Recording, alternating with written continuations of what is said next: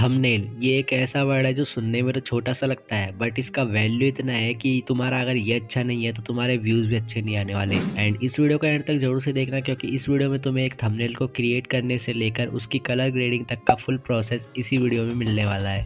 तो थंबनेल में कौन कौन सी मिस्टेक्स आपको नहीं करनी चाहिए, उसके ऊपर हमने पहले ही वीडियो बना रखा है तो ऊपर i button and description box में लिंक मिल जाएगा। तो इस थंबनेल को क्रिएट करने के लिए हम यूज़ करेंगे कैनवा एप्लीकेशन का। तो आपको नीचे प्लस आइकन पे सिंपली क्लिक कर देना है। एंड उसके बाद आपके सामने जो ऊपर ऑप्शन आएगा कस्टम साइज़ का, उस पर क्लिक कर देना है। एंड वीर्थ एंड हाइट आपको डालना है 1920 एंड 1080p ठीक है? तो फिर उसके बाद आपको क्रिएट न्यू डिज़ाइन पे क्लिक कर देना है। क्रिएट न्यू डिज़ाइन पे क्लिक करने के बाद आपका जो कैनवस है वो क्रिएट होना शुरू हो जाएगा एंड आपका जो कैनवस है वो क्रिएट हो जाएगा, ठीक है? फिर उसके बाद आपको सबसे पहले इसमें एक बैकग्राउंड ऐड करना है। तो यहाँ पे हम एक कोड का P N G add sorry code का जो बैकग्राउंड है वो ऐड करेंगे। तो यहाँ पे नीचे गैलरी का ऑप्शन है उस पर सिंपली क्लिक कर देना है एंड उसके बाद जो एलिमेंट है उसे ले लेना है, ठीक है? तो यहाँ पे जो एक कोड का पीएनजी है, इसे सिंपली हम ऐड कर लेते हैं, ठीक है? तो यहाँ पे ऐड टू पेज कर देते हैं। ऐड टू पेज करने के बाद यहाँ पे जो हमारा इमेज है वो आ चुका है। अब इसको इस तरीके से कॉर्नर में ड्रैग करके लाना है एंड इस कॉर्नर को पकड़ के इसे फुल स्क्रीन कर देना है। फुल स्क्रीन करने के बाद अब इसमें हम थोड़ा सा ब्लर इफ़ेक्ट लगाएँगे। ब्लर इफ़ेक्ट को लगाने के लिए आपको नीचे इफेक्ट्स का ऑप्शन मिल जाएगा, उस पर सिंपली क्लिक कर देना है। क्लिक करने के बाद यहाँ पे थोड़ा प्रोसेसिंग होगा एंड उसके बाद जो साइड में इफेक्ट्स का ऑप्शन है उसमें चले जाना है एंड उसमें जाने के बाद साइड में स्क्रॉल करने पर आपको ब्लर का ऑप्शन मिल जाएगा। उस पर क्लिक कर देना है। एंड उस पर क्लिक करने के बाद यहाँ पे आपको जो सेटिंग्स है, उनको ब्रश साइज़ को आपको फुल कर देना है। एंड ब्लर अपने हिसाब से आप रख सकते हो। तो यहाँ पे मैं कर देता हूँ फोर्टीन ठीक है? फोर्टीन करने के बाद आपको यहाँ पे इस तरीके से इमेज के ऊपर पेंट करना है। पूरी जहाँ पे भी आपको ब्लर चाहिए, वहाँ पे आप इस तरीके से पेंट कर सकते हो। तो हमें पूरे इमेज पे जो है ब्लर चाहिए तो यहाँ पे हम पूरे इमेज पे जो है पेंट कर देते हैं। पेंट करने के बाद आपको क्या करना है, यहाँ पे कट वाले ऑप्शन पे क्लिक कर देना है। कट वाले ऑप्शन पे क्लिक करने के बाद यहाँ पे जो है प्रोसेसिंग स्टार्ट हो जाएगा एंड आपका जो ब्लर इफ़ेक्ट है वो अप्लाई हो जाएगा। तो यहाँ पे हमारा जो ब्लर इफ़ेक्ट है, वो अप्लाई हो चुका है। अब इसमें जो हमारा कैरेक्टर का पीएनजी है, उसे हम ऐड करेंगे। तो नीचे प्लस वाले आइकन पे क्लिक कर देना है। एंड यहाँ पे जो आपका गैलरी है, उसे सिलेक्ट कर लेना है। उसके बाद जो आपका कैरेक्टर का पीएनजी है, उसे सिंपली ऐड टू पेज कर देना है। तो यहाँ पे जो हमारा कैरेक्टर का पीएनजी है, वो यहाँ पे थोड़ी देर प्रोसेसिंग होने के बाद आ जाएगा। तो यहाँ पे इस तरीके से आप इसे जूम कर लेना एंड उसके बाद इसे एकदम मिडल में फिट कर देना, ठीक है? तो यहाँ पे मैंने इसे फिट कर दिया इस तरीके से। फिट करने के बाद इसे सेंटर में ले लेना है। एंड उसके बाद आपको इफेक्ट्स में चले जाना है। इफेक्ट्स में जाने के बाद आपको यहाँ पे इफेक्ट्स का ऑप्शन है, उसमें चले जाना है। एंड उसके बाद शेडोज़ वाले ऑप्शन पे क्लिक कर देना है। एंड उसके बाद लास्ट में आपको आउटलाइन का ऑप्शन मिल जाएगा उस पर चले जाना है। एंड उसकी सेटिंग्स को ओपन कर लेना है। एंड उसके बाद नीचे जाने के बाद आपको कलर का ऑप्शन मिलेगा तो सिंपली कलर में चले जाना है। एंड यहाँ से आपको ऑरेंज कलर को सिलेक्ट कर लेना है, ठीक है? तो यहाँ से ऑरेंज कलर को हम सिलेक्ट कर लेते हैं। एंड उसके बाद जो स्क्रीन पर टैप कर देना है। तो यहाँ पे जो स्ट्रोक है वो थोड़ा ज़्यादा है तो इसको हम कम करेंगे। तो ऊपर ही ऊपर आपको साइज़ का ऑप्शन मिल जाएगा। उसे सिंपली आपको इस तरीके से कम कर देना है। तो यहाँ पे हम एट परसेंट रखते हैं एंड उसके बाद आपको कट वाले ऑप्शन पे क्लिक कर देना है। तो यहाँ पे हमारा स्ट्रोक अप्लाई हो चुका है। तो अब इसमें हमें टेक्स्ट ऐड करना है। तो टेक्स्ट को ऐड करने के लिए प्लस आइकन पे क्लिक कर देना है एंड उसके बाद टेक्स्ट पे क्लिक कर देना है एंड यहाँ पे ऐड है हेडिंग पे क्लिक कर देना है। तो यहाँ पे आपका जो टेक्स्ट है वो आ चुका है। अब इसे जो लिखा हुआ है, इसे कट कर देना है। एंड जो भी आपको टेक्स्ट ऐड करना है, उसे आप यहाँ से ऐड कर सकते हो। तो यहाँ पे मैंने लिख दिया स्कैमर तो स्कैमर लिखने के बाद आपको स्क्रीन पे टैप कर देना है। एंड उसके बाद टेक्स्ट पे एक बार क्लिक कर देना है। और नीचे जो फॉन्ट का ऑप्शन है, उस पर क्लिक कर देना है। उस पर क्लिक करने के बाद आपके जितने फॉन्ट्स आएँगे, उनमें से आपको लेना है एंड टर्न फॉन्ट ठीक है? तो इसी के अंदर आपको मिल जाएगा। तो यहाँ पे फॉन्ट अप्लाई हो चुका है। अब उसके बाद कट वाले ऑप्शन पे क्लिक कर देना है। एंड टेक्स्ट को इस तरीके से बड़ा कर लेना है। उसके बाद आपको साइड में स्क्रॉल करना है एंड यहाँ से आपको कलर को पिक करना है। कलर में आपको जो है ये वाला कलर पिक करना है, जो आपका कोड का पी है, उसका थीम कलर ठीक है? तो यहाँ पे इसे हम ऐड कर लेते हैं एंड उसके बाद आपको आगे स्क्रॉल करना है एंड इफेक्ट्स में चले जाना है। इफेक्ट्स में जाने के बाद आपको लास्ट में एक नियॉन का इफ़ेक्ट मिलेगा इस तरीके से तो इसे सिंपली ऐड कर देना है। इसको ऐड करने के बाद इसकी सेटिंग्स के अंदर चले जाना है एंड इंटेंसिटी को फुल कर देना है। फुल करने के बाद इसे कट कर देना है। कट करने के बाद आपको इस टेक्स्ट को इस तरीके से बड़ा कर लेना है। बड़ा करने के बाद इसको ऊपर इस तरीके से एडजस्ट कर लेना है।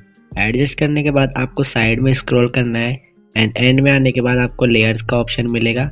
लेयर्स के ऑप्शन पे क्लिक कर देना है एंड जो टेक्स्ट के साइड में छह डॉट्स दिख रहे हैं, उनको सिंपली होल्ड करके रखना है एंड इस टेक्स्ट को ड्रैग करके कैरेक्टर के नीचे ले आना है, ठीक है? तो ये टेक्स्ट जो है कैरेक्टर के पीछे चला जाएगा। उसके बाद यहाँ से कट कर लेना है। कट करने के बाद यहाँ पे हमें एक एरो ऐड करना है। तो एरो को ऐड करने के लिए प्लस आइकन पे क्लिक करना है एंड उसके बाद एलिमेंट्स में चले जाना है। एलिमेंट्स में जाने के बाद ऊपर सर्च में आपको टाइप करना है एरो ठीक है? तो यहाँ पे मैं जो सर्च कर लेता हूँ, यहाँ पे एरो मैंने लिख दिया है एंड उसके बाद जो आपको सर्च कर लेना है। तो यहाँ पे काफ़ी सारी एरो आ चुकी है बट आपको जो ग्राफिक्स वाला ऑप्शन है, उस पर सिंपली क्लिक कर देना है। एंड उसके बाद जो आपको एरो फाइंड करना है तो मैंने जो एरो यूज़ किया था वो आपको नीचे मिल जाएगा। तो यहाँ पे मैं नीचे जाके तो ये एरो मैंने यूज़ किया था जिससे मैं यहाँ पे पिक कर लेता हूँ। पिक करने के बाद आपको नीचे कलर वाला ऑप्शन मिल जाएगा, उस पर सिंपली क्लिक कर देना है। एंड इसी कलर को अप्लाई कर लेना है। कलर को अप्लाई करने के बाद यहाँ पे इसे थोड़ा सा इस तरीके से छोटा करेंगे। एंड इस कॉर्नर में जूम करेंगे। जूम करने के बाद यहाँ पे इस एरो को इस तरीके से ऐड कर लेना है। एरो को ऐड करने के बाद इस तरीके से थोड़ा सा रोटेट कर लेना है। रोटेट करने के बाद इसे तरीके से जो है ऐड कर लेना है। फिर आपको एंड में स्क्रॉल करना है एंड वापस जो है लेयर्स वाले ऑप्शन में चले जाना है।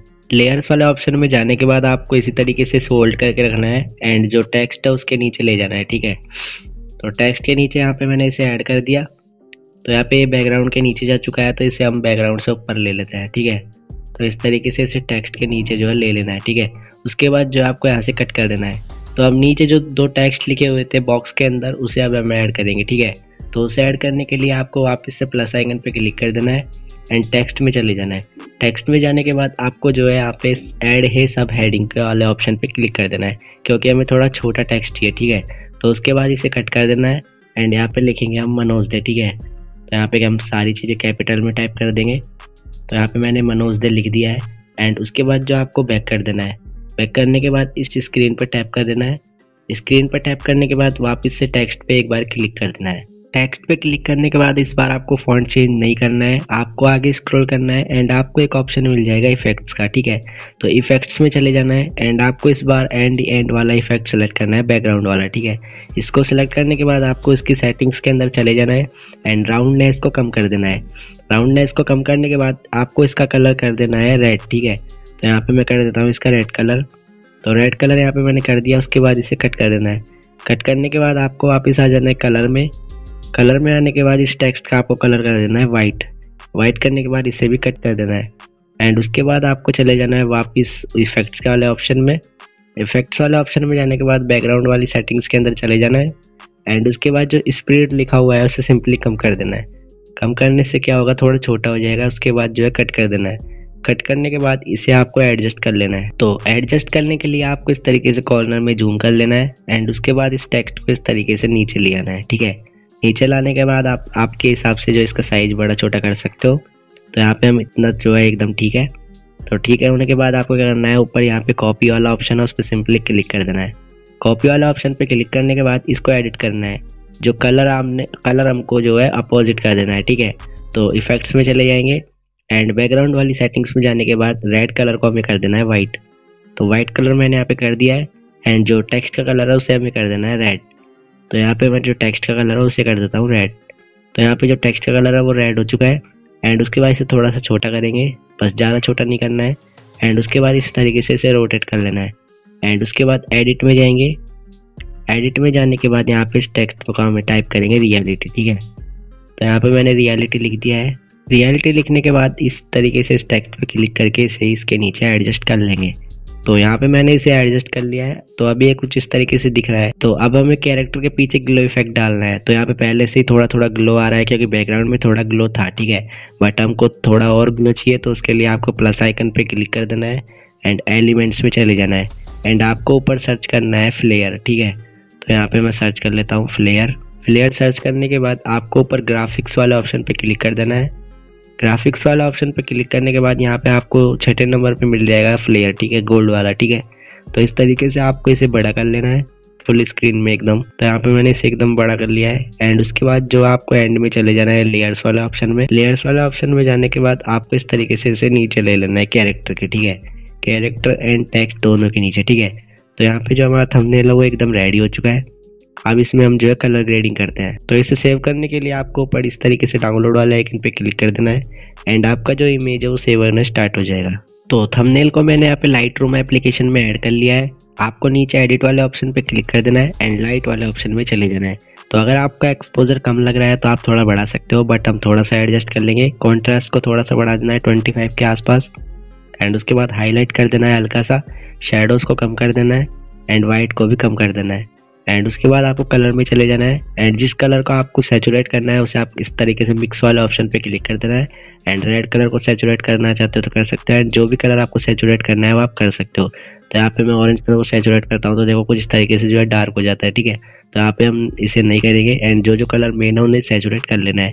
फिर उसके बाद कर देना है? डन एंड उसके बाद इफेक्ट्स वाले ऑप्शन में चले जाना है। टेक्सचर को कर देना है फोर्टी प्लस ठीक है? एंड उसके बाद क्लियरिटी को भी फोर्टी प्लस कर देना है। उसके बाद आप विगनेट इफ़ेक्ट दे सकते हो बट थंबनेल में इतना अच्छा नहीं लगता। फिर उसके बाद चले जाना है आपको डिटेल वाला ऑप्शन में एंड शार्पनिंग को आपको कर देना है थर्टी प्लस ठीक है? फिर उसके बाद आपको नॉइस में चले जाना है एंड नॉइस रिडक्शन कर देना है ट्वेंटी परसेंट दोनों में। नॉइस एंड कलर नॉइस दोनों के अंदर, ठीक है? ट्वेंटी परसेंट एंड उसके बाद आपको वापस आ जाना है कलर में एंड टेम्परेचर को वाले ऑप्शन को माइनस फाइव कर देना है। तो इस तरीके से जो आपका थंबनेल है, वो कलर ग्रेड हो चुका है। अब मैं आपको बिफोर एंड आफ्टर दिखा देता हूँ। तो जो थंबनेल हमने कैनवास से क्रिएट किया था, वो कुछ ऐसा दिखता था। एंड अब जो लाइट से कलर ग्रेड किया है, वो कुछ ऐसा दिखता है। तो यहाँ पे हमारा थंबनेल एकदम रेडी हो चुका है। अगर आपको लाइट रूम का फुल प्रोसेस चाहिए तो मैंने इसके ऊपर पहले भी वीडियो बना रखा है तो आप उसे जाकर देख सकते हो। तो इसी तरीके से तुम भी अपना थंबनेल क्रिएट कर सकते हो। एंड कोई प्रॉब्लम हो तो यहाँ पे मैंने एक नया इंस्टा आई बना लिया है तो उसका लिंक आपको डिस्क्रिप्शन बॉक्स में देखने को मिल जाएगा। तो जाके डीएम कर सकते हो। एंड आज की वीडियो में बस इतना ही। मिलता है किसी नई टॉपिक के साथ। तब तक के लिए बाय